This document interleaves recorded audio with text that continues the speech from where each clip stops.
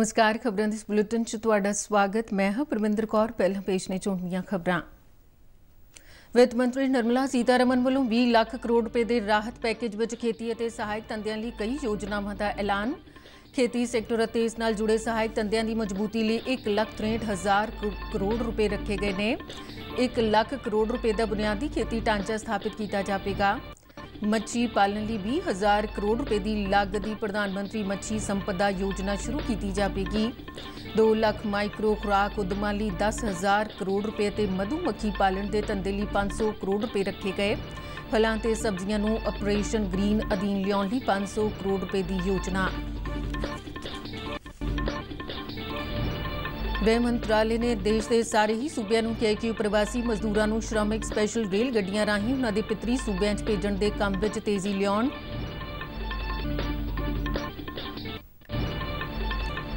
ਕੇਂਦਰ ਵੱਲੋਂ ਕੋਵਿਡ-19 ਦੇ ਮੱਦੇਨਜ਼ਰ ਐਲਾਨੇ ਗਏ 20 ਲੱਖ ਕਰੋੜ ਰੁਪਏ ਦੇ ਪੈਕੇਜ ਦਾ ਪੰਜਾਬ ਦੇ ਕਿਸਾਨਾਂ, ਕਾਮਿਆਂ ਤੇ ਛੋਟੇ ਦੁਕਾਨਦਾਰਾਂ ਵੱਲੋਂ ਭਰਵਾਂ ਸਵਾਗਤ ਹੁਸ਼ਿਆਰਪੁਰ 'ਚ ਕਈ ਦੁਕਾਨਦਾਰਾਂ ਨੇ ਕਿਹਾ ਕਿ ਉਹਨਾਂ ਦਾ ਕੰਮ ਮੁੜ ਤੋਂ ਲੀ ਤੇ ਆ ਜਾਵੇਗਾ ਜਲੰਧਰ ਅਤੇ ਪਟਿਆਲਾ ਦੇ ਰੇੜੀ ਤੇ ਫੜੀ ਲਗਾਉਣ ਵਾਲਿਆਂ ਨੇ ਕੇਂਦਰ ਵੱਲੋਂ ਰਾਹਤ ਪੈਕੇਜ ਦਿੱਤੇ ਜਾਣ ਤੇ ਖੁਸ਼ੀ ਦਾ ਇਜ਼ਹਾਰ ਕੀਤਾ।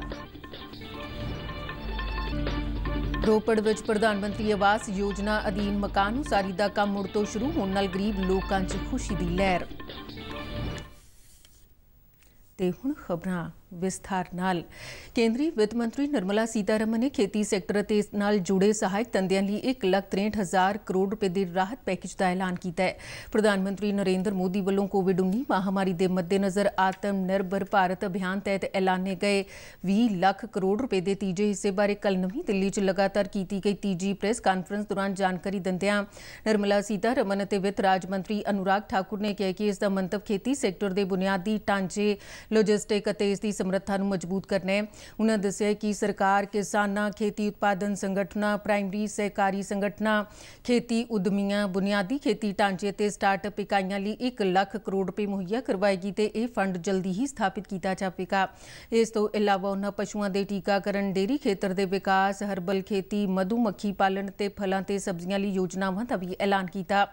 ਵਿੱਤ ਰਾਜ ਮੰਤਰੀ ਅਨੁਰਾਗ ਠਾਕੁਰ ਨੇ ਮਾਈਕਰੋ ਖੁਰਾਕ ਉਦਮਾਂ ਲਈ 10000 ਕਰੋੜ ਰੁਪਏ ਦੀ ਯੋਜਨਾ ਦਾ ਐਲਾਨ ਕੀਤਾ ਉਹਨਾਂ ਕਿਹਾ ਕਿ ਇਸ ਯੋਜਨਾ ਨਾਲ 2 ਲੱਖ ਮਾਈਕਰੋ ਖੁਰਾਕ ਉਦਮੀਆਂ ਨੂੰ ਲਾਭ ਹੋਵੇਗਾ I'll be announcing 11 measures, 11 measures, and from among them, eight of them relate to strengthening infrastructure, strengthening capacities, building better logistics, and so on. So eight of them, eight of the 11 relate to such things where government allocates money, activities will be undertaken, uh, undertaken in such a way that very quickly we can ramp up on storage capacities, logistics, and so on.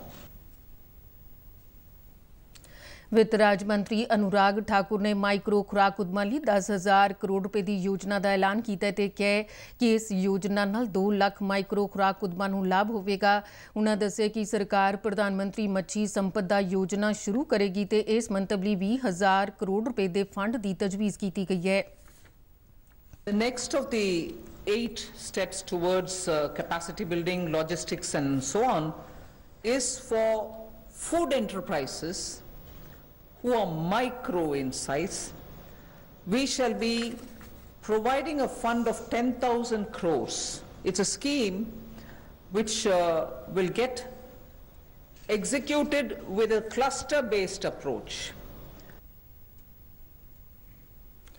Sitharaman ਨੇ ਦੱਸਿਆ ਕਿ ਪਸ਼ੂਆਂ ਦੇ ਟੀਕਾਕਰਨ ਲਈ 13343 ਕਰੋੜ ਰੁਪਏ ਦਾ fund ਬਣਾਇਆ ਗਿਆ ਤੇ ਡੇਰੀ ਵਿਕਾਸ ਲਈ 15000 ਕਰੋੜ ਰੁਪਏ ਦਾ ਬੁਨਿਆਦੀ ਪਸ਼ੂ ਪਾਲਣ ਢਾਂਚਾ ਫੰਡ ਸਥਾਪਿਤ ਕੀਤਾ ਜਾਵੇਗਾ ਅਨੁਰਾਗ ਠਾਕੁਰ ਨੇ ਦੱਸਿਆ ਕਿ ਹਰਬਲ ਖੇਤੀ ਨੂੰ ਉਤਸ਼ਾਹਿਤ ਕਰਨ ਲਈ 4000 ਕਰੋੜ ਰੁਪਏ ਦਾ ਫੰਡ ਮੁਹੱਈਆ ਕਰਵਾਇਆ ਜਾਵੇਗਾ। ਉਹਨਾਂ ਦੱਸਿਆ ਕਿ ਮਧੂਮੱਖੀ ਪਾਲਣ ਲਈ 500 ਕਰੋੜ ਰੁਪਏ ਦੀ ਤਜਵੀਜ਼ ਕੀਤੀ ਗਈ ਹੈ ਤੇ ਇਸ ਨਾਲ 2 ਲੱਖ ਮਧੂਮੱਖੀ ਪਾਲਕਾਂ ਨੂੰ ਫਾਇਦਾ ਹੋਵੇਗਾ। ਸਰਕਾਰ ਨੇ ਫਲਾਂ ਤੇ ਸਬਜ਼ੀਆਂ ਨੂੰ ਆਪਰੇਸ਼ਨ ਗ੍ਰੀਨ ਯੋਜਨਾ ਅਧੀਨ ਲਿਆਉਣ ਦਾ ਵੀ ਐਲਾਨ ਕੀਤਾ ਤੇ ਕਿਹਾ ਕਿ ਟਮਾਟਰ, ਪਿਆਜ਼ ਅਤੇ ਆਲੂ ਦੀਆਂ ਫਸਲਾਂ ਤੋਂ ਇਲਾਵਾ ਹੋਰ ਸਬਜ਼ੀਆਂ ਤੇ ਫਲਾਂ ਨੂੰ ਵੀ ਇਸ ਯੋਜਨਾ ਅਧੀਨ ਲਿਆਂਦਾ ਜਾਵੇਗਾ ਅਤੇ ਇਸ ਮੰਤਵ ਲਈ 500 ਕਰੋੜ ਰੁਪਏ ਦੀ ਵਾਧੂ ਰਾਸ਼ੀ ਮੁਹੱਈਆ ਕਰਵਾਈ ਜਾਵੇਗੀ। ਅਨੁਰਾਗ ਠਾਕੁਰ ਨੇ ਦੱਸਿਆ ਕਿ ਲਾਕਡਾਊਨ ਦੇ 2 ਮਹੀਨੇ ਦੇ ਸਮੇਂ ਦੌਰਾਨ ਸਰਕਾਰ ਨੇ ਕਿਸਾਨਾਂ ਦੀ ਮਦਦ ਲਈ ਕਈ ਕਦਮ ਚੁੱਕੇ ਨੇ। ਉਹਨਾਂ ਦੱਸਿਆ ਕਿ ਫਸਲਾਂ ਦਾ ਘੱਟੋ-ਘੱਟ ਸਮਰਥਨ ਮੁੱਲ ਦੇਣ ਲਈ 74300 ਕਰੋੜ ਰੁਪਏ ਖਰਚ ਕੀਤੇ ਗਏ ਨੇ ਤੇ ਇਹ ਪੈਸਾ ਸਿੱਧਾ ਕਿਸਾਨਾਂ ਨੂੰ ਗਿਆ ਇਸ ਤੋਂ ਇਲਾਵਾ ਪ੍ਰਧਾਨ ਮੰਤਰੀ ਕਿਸਾਨ ਯੋਜਨਾ ਤਹਿਤ 18700 ਕਰੋੜ ਰੁਪਏ ਪਿਛਲੇ 2 ਮਹੀਨਿਆਂ ਦੌਰਾਨ ਕਿਸਾਨਾਂ ਦੇ ਖਾਤਿਆਂ 'ਚ ਸਿੱਧੇ ਪਾਏ ਗਏ ਨੇ ਫਸਲ ਬੀਮਾ ਯੋਜਨਾ ਅਧੀਨ ਕਿਸਾਨਾਂ ਨੂੰ 6400 ਕਰੋੜ ਰੁਪਏ ਮਿਲੇ ਨੇ बहुत सारे कदम किसानों के हित में उठाए गए और न्यूनतम समर्थन मूल्य देने के लिए लगभग चौहत्तर हजार तीन सौ करोड़ रुपया खर्च किया गया जो सीधा किसानों को गया है उनकी खरीद करने के लिए उत्पाद की और इसके अलावा जो पीएम किसान योजना है उसके अंतर्गत 18,700 करोड़ रुपया पिछले दो महीनों में किसानों के खाते में सीधा डाला गया है ਗ੍ਰਹਿ ਮੰਤਰਾਲੇ ਨੇ ਦੇਸ਼ ਦੇ ਸਾਰੇ ਹੀ ਸੂਬਿਆਂ ਨੂੰ ਕਿਹਾ ਕਿ ਉਹ ਆਪਣੇ ਆਪਣੇ ਸੂਬਿਆਂ 'ਚ ਫਸੇ ਪ੍ਰਵਾਸੀ ਮਜ਼ਦੂਰਾਂ ਨੂੰ ਸ਼੍ਰਮਿਕ ਸਪੈਸ਼ਲ ਰੇਲ ਗੱਡੀਆਂ ਰਾਹੀਂ ਉਹਨਾਂ ਦੇ ਪਿਤਰੀ ਸੂਬਿਆਂ 'ਚ ਭੇਜਣ ਦੇ ਕੰਮ ਵਿੱਚ ਤੇਜ਼ੀ ਲਿਆਉਣ। ਸੂਬਿਆਂ ਦੇ ਮੁੱਖ ਸਕੱਤਰਾਂ ਨੂੰ 11 ਮਈ ਨੂੰ ਲਿਖੀ ਇੱਕ ਚਿੱਠੀ ਦਾ ਹਵਾਲਾ ਦਿੰਦਿਆਂ ਗ੍ਰਹਿ ਸਕੱਤਰ ਅਜੇ ਪੱਲਾ ਨੇ ਕਿਹਾ ਕਿ ਇਸ ਗੱਲ ਨੂੰ ਯਕੀਨੀ ਬਣਾਇਆ ਜਾਵੇ ਕਿ ਪ੍ਰਵਾਸੀ ਮਜ਼ਦੂਰ ਪੈਦਲ ਚਲਦਿਆਂ ਸੜਕਾਂ ਤੇ ਰੇਲਵੇ ਲਾਈਨਾਂ ਤੋਂ ਹੋ ਕੇ ਇੱਕ ਸੂਬੇ ਤੋਂ ਦੂਜੇ ਸੂਬੇ ਵੱਲ ਨੂੰ ਨਾ ਜਾਣ। ਉਹਨਾਂ ਕਿਹਾ ਕਿ ਇਸ ਤਰ੍ਹਾਂ ਦੇ ਕਈ ਮਾਮਲੇ ਨੋਟਿਸ ਵਿੱਚ ਆਏ ਨੇ ਕਿ ਪ੍ਰਵਾਸੀ ਮਜ਼ਦੂਰ ਆਪਣੇ ਪਿਤਰੀ ਸੂਬਿਆਂ ਨੂੰ ਪਰਤਣ ਲਈ ਦੇਸ਼ ਦੇ ਵੱਖ-ਵੱਖ ਹਿੱਸਿਆਂ ਤੋਂ ਟਰੱਕਾਂ ਰਾਹੀਂ ਜਾ ਰਹੇ ਨੇ।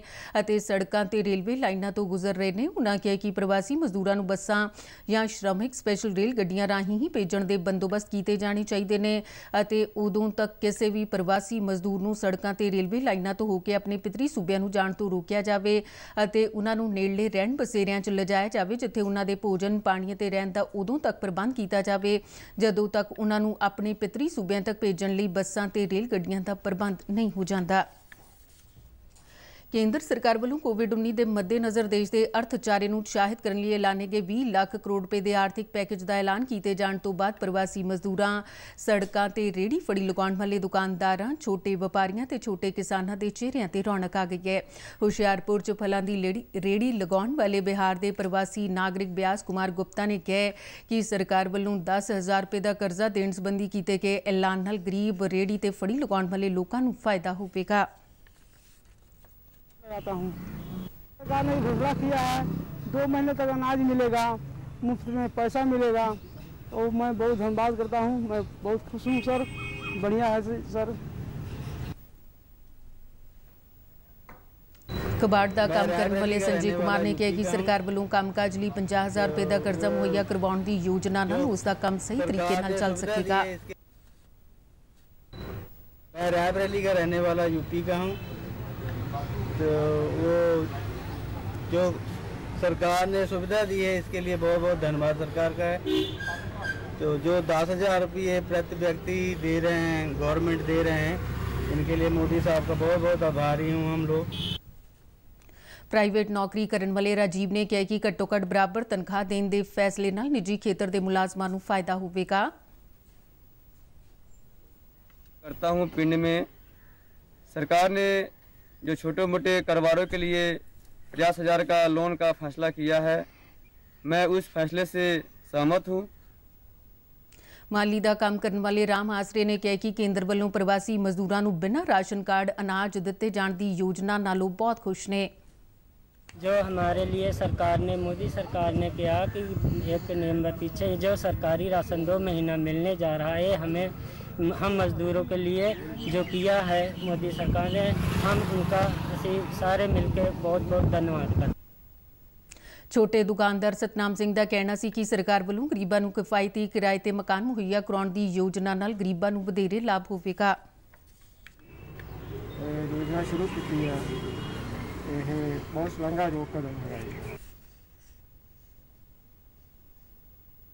ਜਲੰਧਰ ਵਿੱਚ ਵੀ ਰਾਹਤ ਪੈਕੇਜ ਦਾ ਗਰੀਬ ਵਰਗ ਦੇ ਲੋਕਾਂ, ਕਿਸਾਨਾਂ, ਛੋਟੇ ਦੁਕਾਨਦਾਰਾਂ ਤੇ ਰੇੜੀ ਫੜੀ ਵਾਲਿਆਂ ਨੇ ਸਵਾਗਤ ਕੀਤਾ ਹੈ ਅਤੇ ਇਸ ਪੈਕੇਜ ਲਈ ਪ੍ਰਧਾਨ ਮੰਤਰੀ ਨਰਿੰਦਰ ਮੋਦੀ ਦਾ ਧੰਨਵਾਦ ਕੀਤਾ ਹੈ।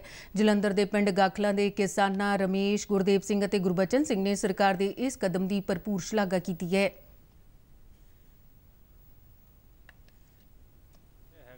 ਹੈਗੇ ਸਬਜ਼ੀਆਂ ਦਾ ਕੰਮ ਕਰਦੇ ਆ ਤਾਂ ਹੁਣ ਮਹੀਂ ਪੈਸੇ ਇਕੱਠੇ ਨਹੀਂ ਹੁੰਦੇ ਜੇਬ 'ਚ ਪੈਸਿਆਂ ਤੋਂ ਬੈਠੇ ਇੱਕ ਦੂਜੇ ਵੱਲ ਮੂੰਹ ਇੱਕ। ਸਾਨੂੰ ਤਾਂ ਮਹੀਨਾ ਹੋ ਗਿਆ ਮਹੀਂ ਹੁਣ ਕੰਮ ਤੋਰਨ ਡੇ ਹੌਲੀ ਹੌਲੀ। ਰੇੜੀ ਵਾਲਿਆਂ ਨੂੰ ਮੋਦੀ ਸਰਕਾਰ ਕਰਜ਼ੇ ਦੇਣ ਡਿਆ ਜੋ ਸਾਨੂੰ ਉਹਨਾਂ ਦਾ ਧੰਨਵਾਦ ਆ ਸਾਨੂੰ ਮਿਲ ਜਾਵੇ ਸ਼ੁਕਰੀਆ ਉਹਨਾਂ ਦਾ। ਰੇੜੀ ਲਗਾਉਣ ਵਾਲੇ ਧਰਮਵੀਰ ਨੇ ਕਿਹਾ ਕਿ ਸਰਕਾਰ ਵੱਲੋਂ ਦਿੱਤੇ ਗਏ ਪੈਕੇਜ ਨਾਲ ਗਰੀਬ ਲੋਕਾਂ ਦਾ ਕਾਰੋਬਾਰ ਮੁੜ ਤੋਂ ਲੀਹ ਤੇ ਆ ਸਕੇਗਾ। ਉਹ ਵਪਾਰ ਜਿਹੜਾ ਸੀ ਜਿਹੜੇ ਦੁਕਾਨਦਾਰਾਂ ਦਾ ਛੋਟਿਆਂ ਦਾ ਉਹ ਬਿਲਕੁਲ ਖਤਮ ਹੋ ਚੁੱਕਾ ਹੈ। ਇਹਦੇ ਤੋਂ ਨਵੇਂ ਸਿਰੇ ਤੋਂ ਸ਼ੁਰੂ ਕਰਨ ਵਾਸਤੇ ਵੀ ਗਵਰਨਮੈਂਟ ਨੇ ਜਿਹੜਾ ਉਪਰਾਲਾ ਕੀਤਾ ਹੈ ਉਹਦੇ ਵਾਸਤੇ ਸਾਨੂੰ 10000 ਦਾ ਲੋਨ ਦੇਣ ਦੀ ਯੋਜਨਾ ਬਣਾਈ ਹੈ। ਅਸੀਂ ਇਸ ਯੋਜਨਾ ਤੋਂ ਖੁਸ਼ ਹਾਂ ਕਿ ਸਾਡੇ ਵਾਸਤੇ ਮੋਦੀ ਸਰਕਾਰ ਨੇ ਇੰਨਾ ਸੋਚਿਆ ਕਿ ਨਿੱਕੇ ਦੁਕਾਨਦਾਰਾਂ ਨੂੰ ਤੇ ਛੋਟੇ ਵਪਾਰੀਆਂ ਨੂੰ ਮੁੱਢ ਤੋਂ ਚੱਕਣ ਦੀ ਸਹਾਰਨਾ ਕੀਤੀ ਹੈਗੀ ਹੈ।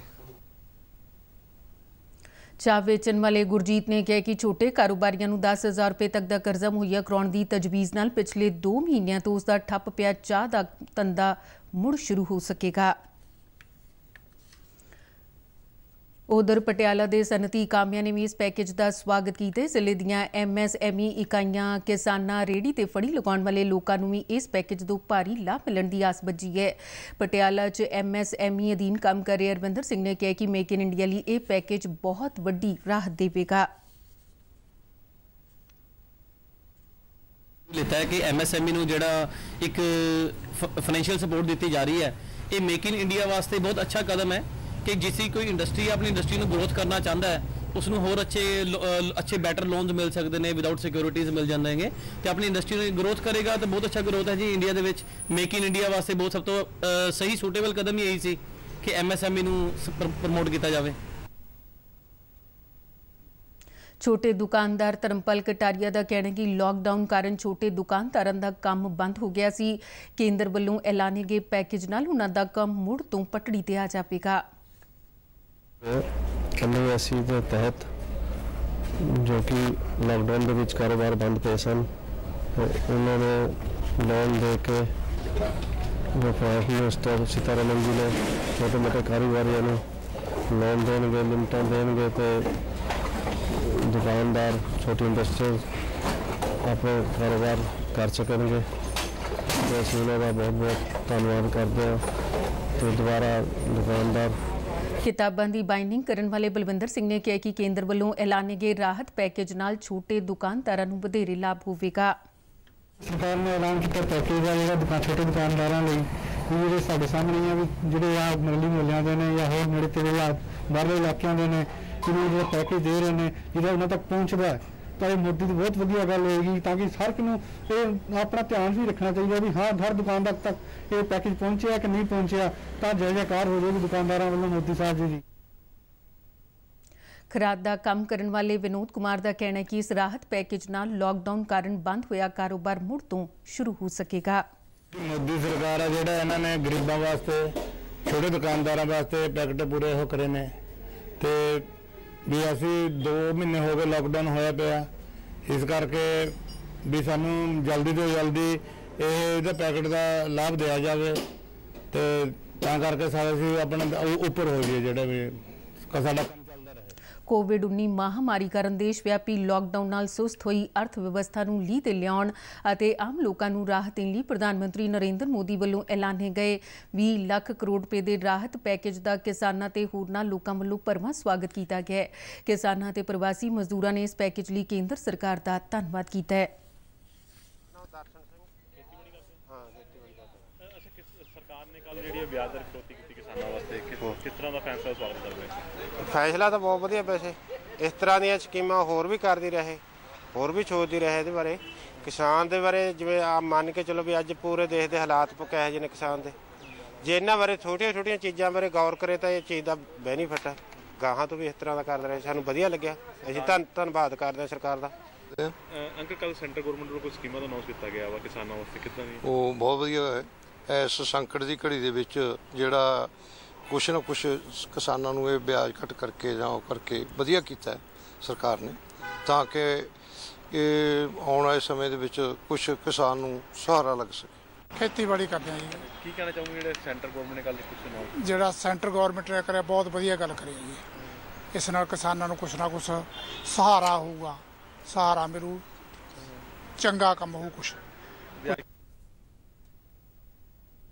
ਇਸ ਦੇ ਨਾਲ ਹੀ ਖਬਰਾਂ ਦਾ ਬੁਲੇਟਿਨ ਖਤਮ ਹੋਇਆ। ਨਮਸਕਾਰ।